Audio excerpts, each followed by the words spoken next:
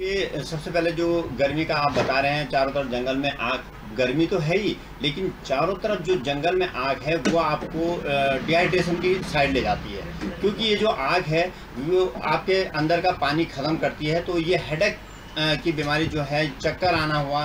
कई लोग मैं सुन रहा हूँ कि वो गिर पड़ रहे हैं। तो सबसे पहले मैं ये सलाह दूँगा कि आप अपने सर पर जब भी बाहर निकलें, कपड़ा रखें, टोपी रखें, या फिर जो ड्राइवर जो यात्रियों की बात कर रहे हैं आप, जो ड्राइवर बस चला रहे हैं, वो कम से कम पंद्रह मिनट या बीस मिनट के बाद गाड़ी रोक कर मुँह धुलें और उसके बाद ही चलें। और दूसरी चीज़ मैं ये कह रहा हूँ कि यात्रियों को प्रिकॉशंस दी जानी चाहिए कि वो ओ आर एस का यूज़ करें। ओ आर एस लिक्विड पी सकते हैं, आप नींबू पानी पी सकते हैं और ज़्यादातर एंटीऑक्सीडेंट जो कैप्सूल होती हैं वो खा सकते हैं क्योंकि एंटीऑक्सीडेंट आपको अच्छा तरोताज़ा रखने के लिए काफ़ी रहेगी। और मैं ये चाहता हूँ कि इसमें बिकासूल बिकासूल जेड है बिकासूल है या फिर एंटीऑक्सीडेंट और जो कहते हैं। जिस तरह से गर्मी बढ़ रही है, ऊपर से जंगलों में जो आग लगी हुई है इससे ग्लोबल वार्मिंग तो हो ही रही है।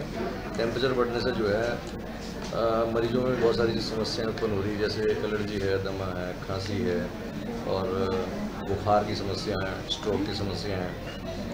इस तरह केस आ रहे हैं हमारे पास। तो इसमें हमने हमारे पास जो है सारे पीडियटिशियन हो गया कार्डियोलॉजिस्ट हो गया फिजिशियन सारे हमारे मौजूद हैं। हमारे पास सारे सेंटर सप्लाई ऑक्सीजन वगैरह हैं सी टी स्कैन एक्सरे वगैरह इमरजेंसी हमारे चौबीस घंटे रेडी है। नहीं, हमारे जो है, यहाँ से हमारा तो मेन अस्पताल है उत्तरकाशी में, जहाँ से ये चर्चरी केयर सेंटर है। इसके अलावा जितने हमारे गंगोत्री मंत्री जो यात्री हैं, उसके जगह जगह में बहुत से हमारे जो है मेडिकल स्टाफ पैरामेडिकल स्टाफ और इवन उनको सारे ऑक्सीजन सिलेंडर ऑक्सीजन सिलेंडर से लेके जो है, सारे जितने सांस में हार्ट की समस्या आ रही है, हमारे फिजिशियन तैनात हैं यात्रा ड्यूटी में गंगोत्री में भी की चट्टी में भी। और जितना हमारी तरफ़ से प्रयास है कि लोगों में अच्छा इलाज मिल सके सबको।